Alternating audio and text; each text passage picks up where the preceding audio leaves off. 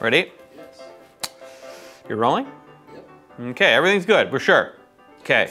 Okay, I'm not gonna just, we're not doing this again. Okay, so today we're talking about why we have political, uh-oh, my wedding ring. I'm gotta get used to that. Group of individuals that make policy-related appeals.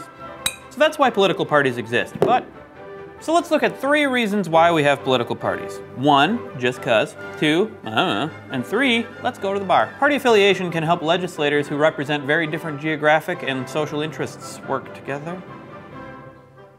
Excuse me. Heartfelt apology for that burp. And since in many districts, take a breath, take a breath. Meh. Partly because there were almost universal agree was almost universal agreement that the first president of the U.S. should be Jorge Washington. Ah, oh, beard fly. ah, favored the more revolutionary French with their frites and their foie gras. It was all food-based decision making back then. Falling apart, guys. We're falling apart. You're doing the same thing. I'm doing great. And they remain one of the most consistent groups in terms of their party affili- affiliation. Philly, Philly. Was the last word, and that it's often historical contingency, contingencies that cause these shifts. Also take away that the word contingencies is hard to say. But one more thing about interest groups and bureaucracy.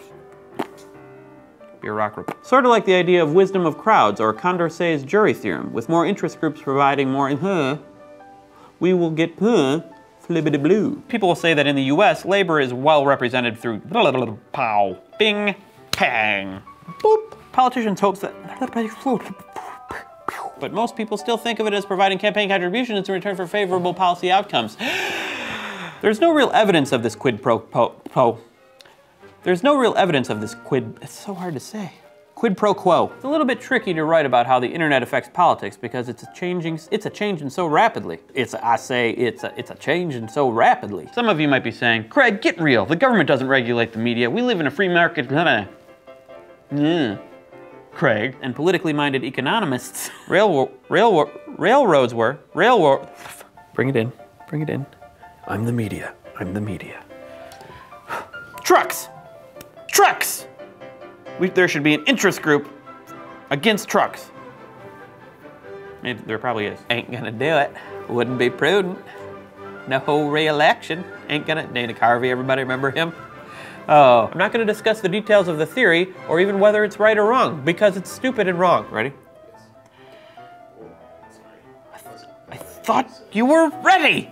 Are you recording? Yeah. I'm picking my nose, so. Blooper reel. Come on and take a Free ride, like Savage Garden, my favorite band from the from the '90s. Have you seen the show Hoarders? Uh, yeah. Whew, that'll motivate you to clean. I, I need to punch that eagle here pretty soon. Can I do this one as a movie narrator, Stan? I will. Part of the 1996 telecommunications law. Okay, no, I won't. China and I have been watching the Gilmore Girls. It's, it is, it is super good. You know, that Max guy has bad hair. She should get together with Luke. Okay. Oh no! Oh no, because that's the main way the Fed controls the money supply. Bless you, Stan. Thank you. I think I made it in time. You did, but you almost interrupted me. Never again, Stan. That's it. I'm only doing three more of these. Let's try to talk like Hank.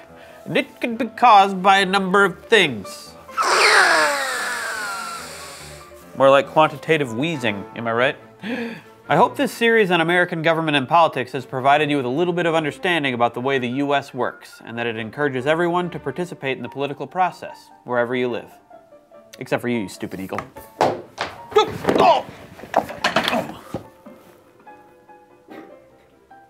Sorry. Went too far. Yeah, That- the punch was great. Yeah? I tripped on the chair. Yeah, I saw that. Crash Course is made with the help of all of these hardline. Is this the right direction? Dang it. Government and Politics is produced in association with PBS Digital Studios. Support for Crash Course U.S. government comes from Voqal.